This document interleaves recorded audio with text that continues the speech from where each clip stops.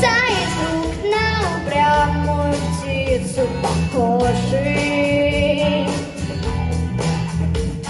Злится на танковую нить за то, что прочла.